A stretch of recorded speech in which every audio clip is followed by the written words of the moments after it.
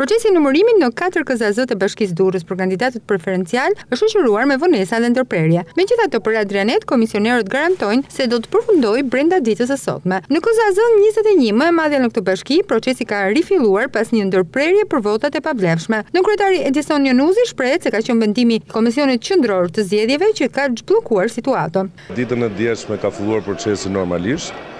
Ka patur një bllokim për shkak të sqarimit të anëtarëve të GNV-së lidhur me procedurën që duhet ndiqnin. Bllokim i cili na zgjati goxha dhe na humbi shumë kohë, por më në fund, rreth orëve të darkës, ka ardhur një vendim i komisionerit, i cili e ka sqaruar ligjërisht se si do procedojnë të gjithë. Që kështu, ne sot kemi vazhduar numërimin normalisht dhe Besoj që të gjitha këto kutitë që ndodhen atje të panumëruara do të përfundojmë sot dhe do kemi një rezultat besoj për kandidatët.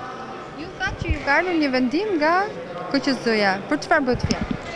Atëherë ka pasur një pretendim nga disa po themi më saktë numërues të të propozuar nga subjektet politike, PD LSI, të cilët të bëjnë të kontestojnë votat e e subjekteve, ndërkohë që ky është proces që ka përfunduar dhe nuk mund të vazhdohet. Pra procesi që ne aktualisht po punojmë është procesi i vlerësimit të votave për kandidatë, jo për subjektet politike.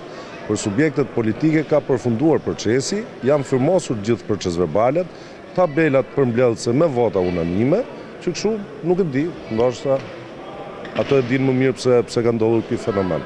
Dhe brenda ditës së sotme do të përfundojë, besoni, numërimi. Besoj se po, nëse nuk do kemi prapë po të njëjtën gjë që ndodhi dje, po nuk besoj se dikush do tentojë të dalë mbi ligjin. Në KZAZ njëzet e dy jo vetëm ka pasur ndërprerje të procesit, por edhe ndërrim komisionerësh. Në krye të kësaj KZAZ-je është vendosur Ani Dyrmishi i Partisë Socialiste, i cili ka zëvendësuar Shpëtim Çikun. Procesi ka vazhduar normalisht që prej orëve të para të mëngjesit. Deri më tani KZAZ njëzet e dy janë numëruar tridhjetë e një kuti votimi. Shpresojmë që brenda ditës së sotme do ta përfundojmë me sukses gjithë procesin e votimit, e numërimit për kandidatët për subjektet politike. Dje problemi është trajtuar pak politikisht, nuk është se ka qenë një problem teknik.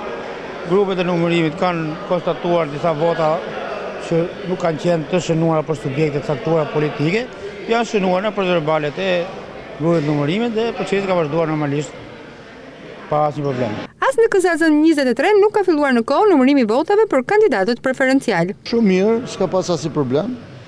Dje pati disa kontestime të vogla.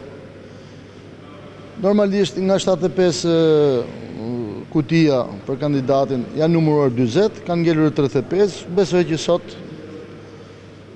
gjithçka do përfundojë një fjalë brenda orës tetë, besoj tetë nëntë darkës do të përfundojë. A mund të themi cilët janë kandidatët që kanë marrë më shumë vota deri tani?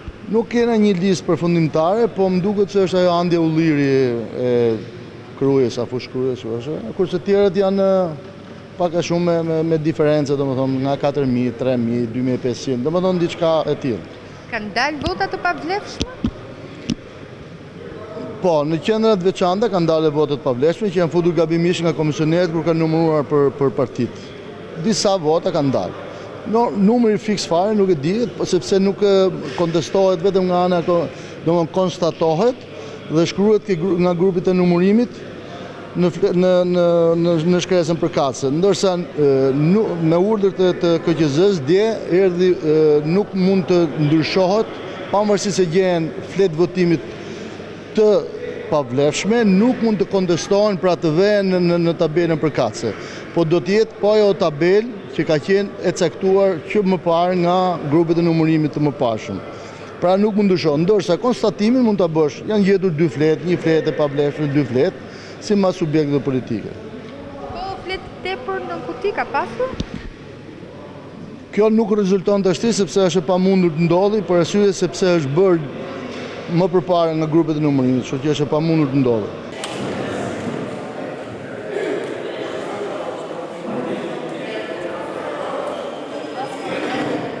Ndodhemi në palestrën e Shkollës së Mesme të Përgjithshme Leonik Tomeu, ku është vendosur KZAZ-ja numër njëzet e katër. Këtu vazhdon me ritme të shpejta procesi i numërimit të votave të kandidatëve preferencialë dhe nëse vazhdohet me këtë ritëm, brenda orës njëzet të mbrëmjes së sotme do të përfundojë i gjithë procesi. Në KZAZ-në njëzet e katër, përveç grupeve të numëruesve, vihet re edhe një numër i lartë vëzhguesish të subjekteve politike që kanë mbikëqyrur procesin. Mbrëmja e sotme pritet t'i japë fund numërimit të votave për kandidatët preferencialë që garuan në zgjedhjet e përgjithshme të njëzet e pesë prillit.